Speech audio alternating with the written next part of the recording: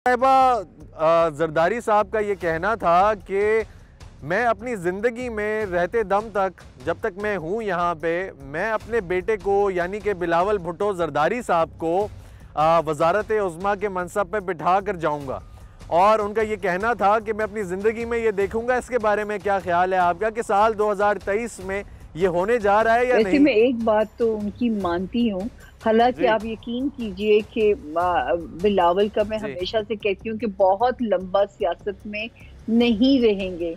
लेकिन मैं उनके फादर की ग्रूमिंग को सौ में से सौ नंबर देती हूँ और अच्छा। जरदारी साहब जो सोच लें इरादा कर लें ज़िंदगी उनका साथ दे तो वो अपना इरादा तो वो पूरा कर ही लेते हैं इमरान खान साहब की तरह।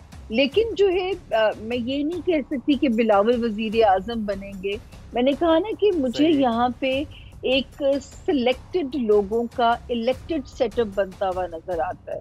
तो 2023 में अगर इलेक्शन होता है तो मेरे लिए सचमुच मोजा होगा।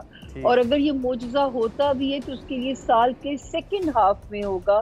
उससे पहले कोई इम्कान नहीं है कि यहाँ पे इलेक्शन हो सकता है। ठीक है यानी इलेक्शन जो हैं आप कह रही हैं कि वक्त पे होंगे।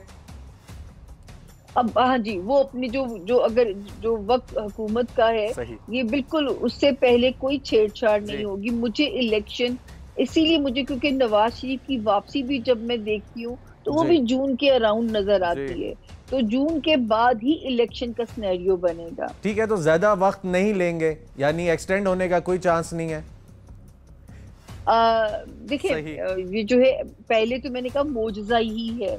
अव्वल तो जो मुझे जो मुझे फील आती है कि जो नया सेटअप जैसे मैं आपसे कह रही हूँ कि एक सिलेक्टेड लोगों का एक इलेक्टेड सेटअप बन जाएगा जो कि जिसकी वजह से स्टेबिलिटी भी है